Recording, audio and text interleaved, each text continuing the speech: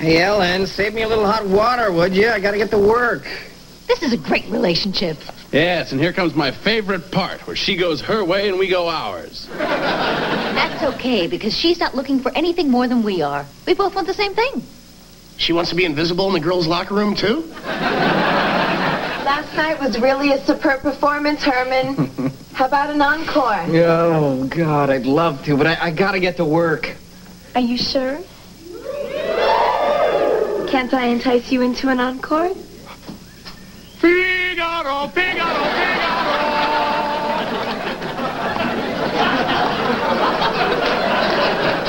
Well, maybe I can take the morning off. Well, maybe I can take the afternoon off. Maybe I can take an indefinite leave of absence.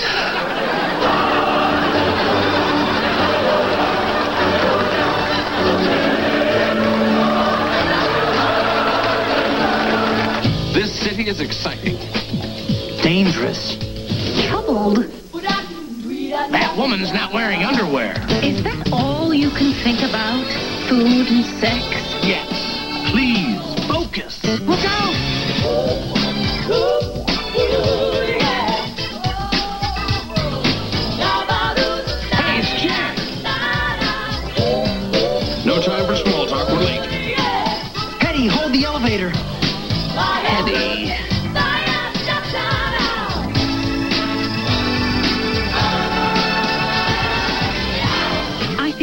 Think Louise is so sweet.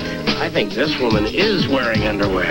I think there's too many people in this elevator. And I think you are all idiots. I'm gonna work.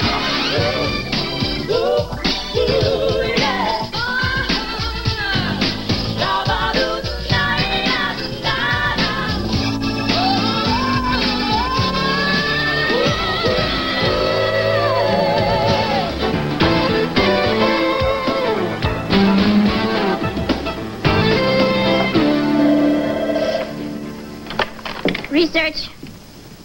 No, he's not in, Mr. Crawford. Sure, I'll tell him. Oh, these must be for me. Heddy, how do you know they're for you? Yeah, how do you know they're not for me? Why would they be for you? Did you win the Preakness? See. Dear Herman, last night was wonderful. Heddy. I feel so special when you hold me in your manly, muscular arms. It must be a different Herman. Heddy, give me that. So, Herman, sounds like things are getting pretty serious between you and Ellen, huh? Are they, are they, are they? Ha, ha, ha, ha. Things are moving along nicely, I would, but I wouldn't call it serious. We just went out to dinner. And we saw a movie. And you held her in your manly, muscular arms. We know, Herman. Oh, Heddy, you're just jealous because your boyfriend doesn't love you enough to send you flowers. I don't need love from a man. I can love myself. Let's reflect on that image for a while, shall we?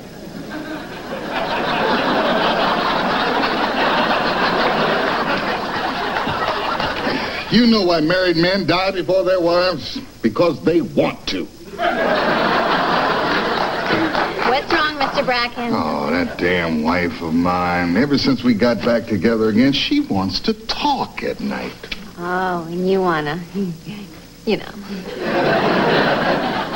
No, I don't know. Good God, Heddy, on a weeknight? Maybe it would spice up your marriage a little, Mr. Bracken. Oh, and on a weeknight? No, I don't think I could. Mr. Bracken, uh, Mr. Crawford just called for you. Ever since they promoted that power-crazy lunatic to senior vice president, he has been all over me. Sherman, there you are. I don't have time to talk. Okay, Mr. Crawford. Don't you hear, man? I said I don't have time to talk. Bracken, why didn't you return my phone call? When I call one of my people, I expect them to call me right back. I was just handed the message. I don't want excuses. Call me back. Louise, would you get Mr. Crawford on the phone? That's more like it. One thing I don't like is not having my phone calls returned. Mr. Bracken, Mr. Crawford's not in. Okay, thank you, Louise. Damn it, man. Leave a message. Tell him I'm returning his phone call and he can get back to me. Mr. Bracken's returning his phone call and he can get back to him. That's better. Now I have an important announcement to make. I'll be just a moment. Crawford. Uh huh. Uh huh. Thank you. Bracken, did you want to speak to me? Um, yes. Well, it'll have to wait. I'm in the middle of a meeting. What's the matter with you, anyway? As I was saying, one of you has to go. What? This company can ill afford to carry this bloated, overstaffed research department. This department is not bloated. Oh, no? You ever seen Bracken in boxer shorts? Wait a minute, Crawford. You can't come in here and fire one of my people without consulting me first. The truth is, I can. I'm the senior vice president of this company. You, you're fired. Get out. See? Mr. Crawford, that's my friend Amy. She doesn't even work here. This is going to be more trouble than I thought. But I welcome the challenge. If I can get out of that Vietnamese cage, I can handle this. Oh, I didn't know you were in the war. What war? It was a bachelor party gone awry. Oh, this is insanity. Look, Crawford, this is my department, and I will You're not. right. This is your department, and you have 48 hours to put a bullet in someone. You want me to fire one of my people? If you'd prefer to do it that way. Just see that it's done.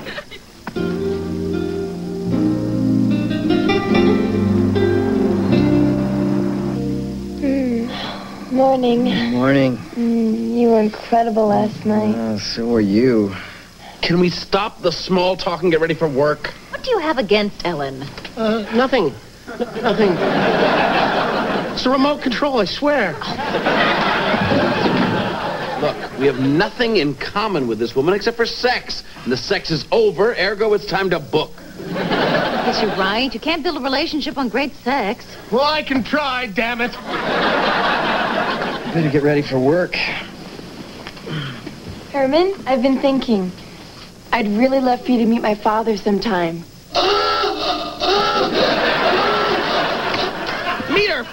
Father? This is going too fast. I couldn't help it. I got excited. Not that, you idiot. Oh. She wants more than we do. Well, then we're going to have to tell her the truth that we're not interested in a long-term relationship. But what about the sex?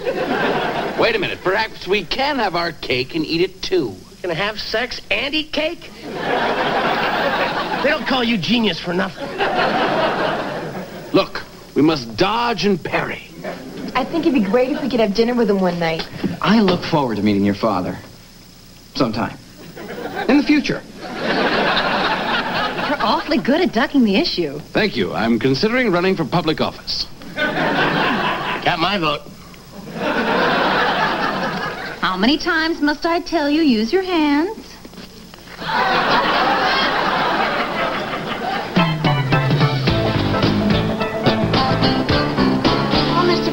Given much thought to who you're going to fire? I'm still working on it, Louise. Believe me, I do not enjoy making the choice. Well, if you have to fire me, I'll understand.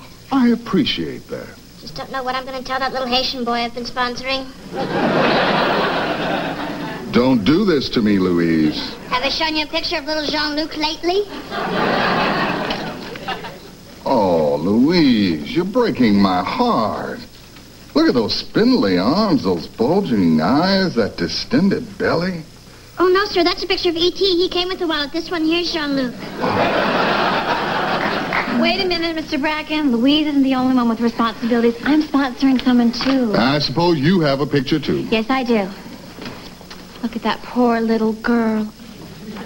Heddy, I'm supposed to keep you on the payroll because you're in a thong bikini? Well, you wouldn't be the first. Thank you for your input. Why don't the both of you get back to work? Yes, we're lying in bed this morning, and suddenly out of nowhere, she wants me to meet her father. Oh, boy. Whenever I meet a girl's father, it's always the same story. First, he offers me money not to see her. Yeah? And then what happens? I take the money. Okay, I don't think her father is going to offer me money. No, you're right. Sometimes they offer you goods and services. But you don't have to accept his first offer. You can haggle. Just start to walk out. He'll call you back.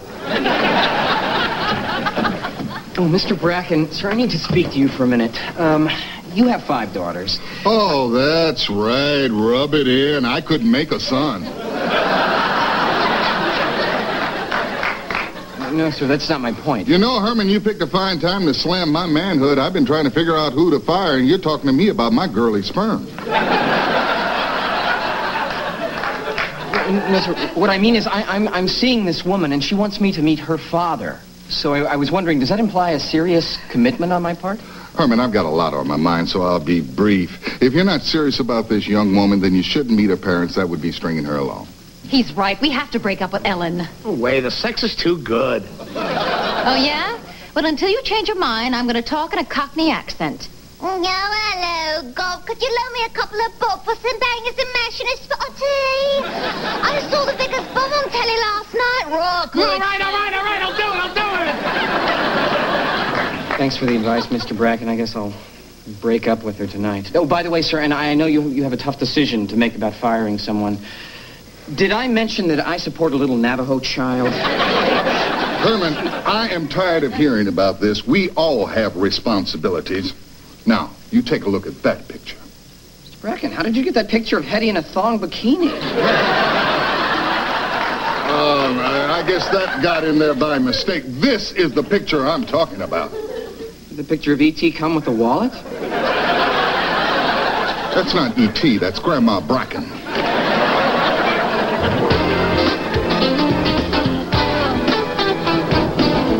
Where are you taking me? I thought we were going to a restaurant. It's a surprise. Open up, Daddy. Daddy. Daddy. Daddy? Daddy. Daddy. Well, He said you wanted to meet him sometime, and we already had a date, and he wasn't doing anything, so I thought this would be perfect. What do we do? We'll put off breaking up with her for a day or two. Exactly. And for now, we just have to humor her and the old man for a couple of hours. How bad can it be? Ah, welcome to Casa Crawford. I'm honored you'd come and visit me in my home, but my daughter's boyfriend is coming over, so you get the hell away from here. No, no, Daddy. Daddy, he is my boyfriend. Oh, I could ask for no greater gift. Come on in. Come in. Come on. Come on. Come on. Come on. in. Come on in.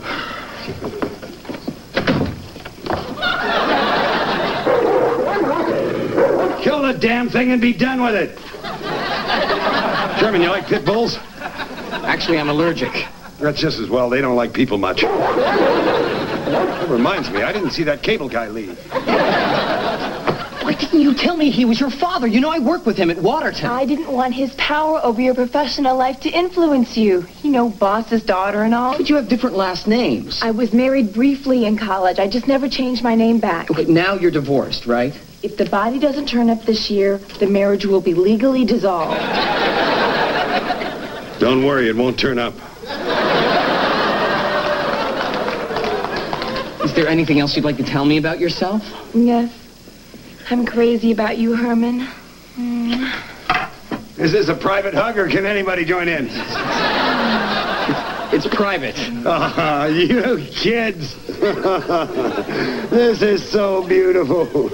Sweetheart, would you do me a favor and go check on my quiche? Yes, Daddy. Sherman, you're not like the other boys that Ellen has brought home over the years. They weren't worthy of my daughter. My daughter is my gold, and I'll do anything to ensure her happiness. Not anything. Anything. But we don't have to worry about that because you make her happy. If she's happy, I'm happy. And if I'm happy, I can make things very pleasant for you at work. But if I'm not happy, then everything I said before is the opposite. Do I make myself clear? Surprisingly, yes. Good. Let's have a toast.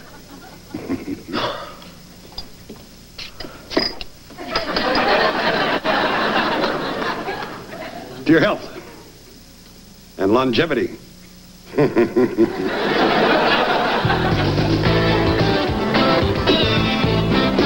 I knew that if you got to know my father outside work, you'd really like him. Well, what's not to like?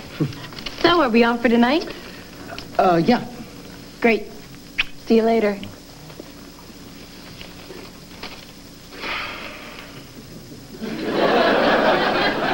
What? What are you two looking at? Herman, I thought you were going to terminate your relationship with that young woman. So did I. What happened? Crawford happened. He's her father. Oh, Herman. I wouldn't trade places with you for all the reference material in the Library of Congress. Hey, Herb. Hey, Jay. So, Herman, what are you going to do? Well, I guess I'm gonna break up with her. Are you nuts? Crawford is forcing Bracken to fire one of us. If you're dating his daughter, at least you're protected. Oh, you're dating Crawford's daughter, huh? Oh. My friend, you are on Gravy Street. Do you think I should keep seeing her? I think you should marry her. Marry her? That's right, pal. You marry his daughter, Crawford moves you right up the corporate ladder. You'll be a vice president the day you get back from your all-expense-paid month-long honeymoon on the Riviera. Jay, do you ever think before you give me advice? I pretty much wing it. That does it. We have to break up with Ellen. Uh, breaking up with Ellen is the easy part. How are we going to tell Crawford? Well, we won't. We'll lay low and try and avoid him. It's not like we see him that often. Sherman! the more I see you, the more I like you. Hello, Mr. Crawford. Not now. I have to talk to Bracken about a very delicate matter. Bracken! So which one of these losers are you going to fire?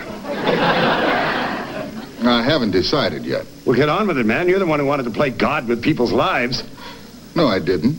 You should. It's fun. now, either you make a decision or I'll do it myself. Sherman, we're going to the country. Pack your bags. Oh, Mr. Crawford, I, I, don't won't know. take no for an answer. You need to relax, damn it. Let's go get him and tell him. If we put it off, we're just going to get in deeper. No. Timing is everything. I say we go with him to the country. You're right. It'll be easier to break it to him in that peaceful, quiet setting. Die, you son of a bitch, die! Mr. Crawford, that's not a duck. It's a private plane. If it's in my airspace, it's fair game. You can't just aim a gun and randomly shoot buckshot. You're right. What was I thinking? Where are those hollow tip shells? Those things are awfully big. Finest ammo money can buy. I don't know why they outlawed them in Germany. Damn fools. It's all yours. Mr. Crawford, Call me Papa. I don't, I don't know if I'm gonna... Damn it, call me Papa. Papa, I'm not sure how I feel about hunting. Oh, Sherman. Since the beginning of time, men have been hunters. Brutish Neanderthals with, with clubs and stones taking on a whole herd of woolly mammoths. We are their progeny. Their blood courses through our veins. We are savage Neanderthals.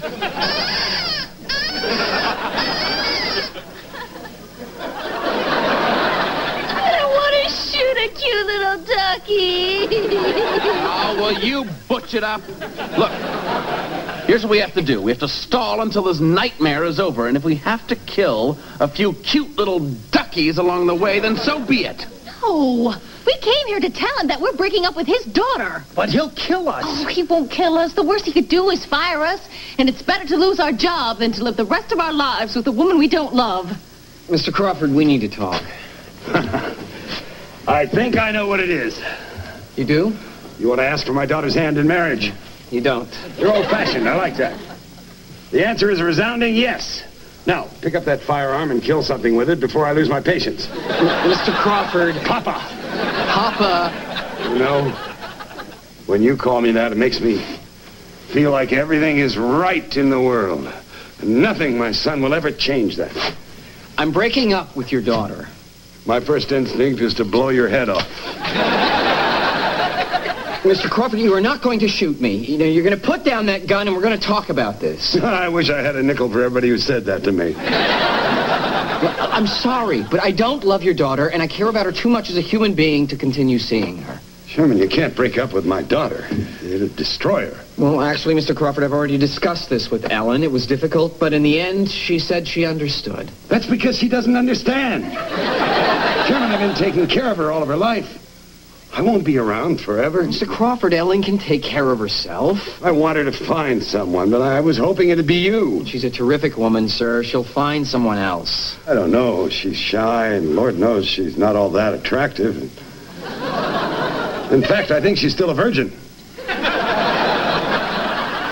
Mm-hmm. Sherman, do you realize you're giving up the opportunity to climb up the corporate ladder?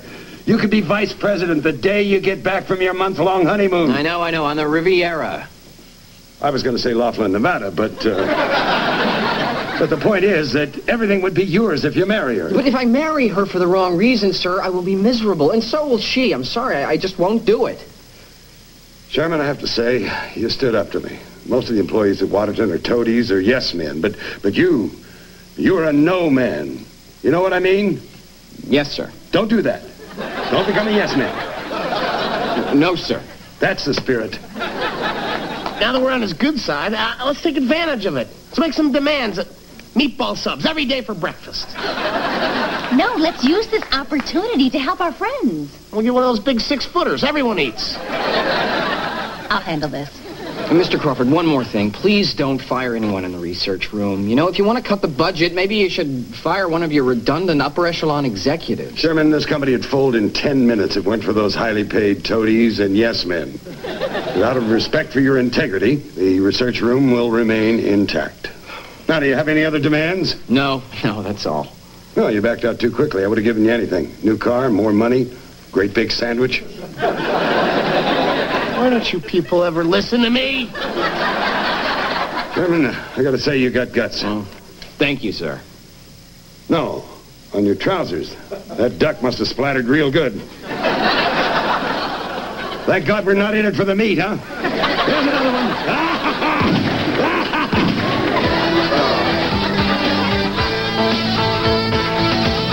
Oh, Mr. Bracken, there's a message here for you from Grandma Bracken. Oh, what is it? It says phone home.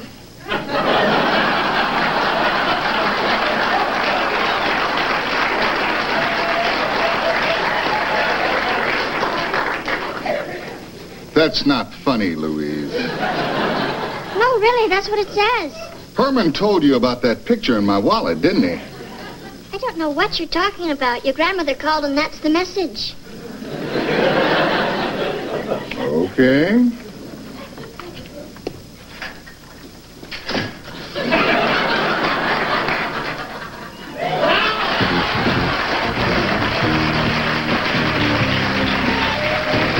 Take a look. And I'm Sherry Stanley. The verdict is in in a federal civil case against the Cambria County Sheriff.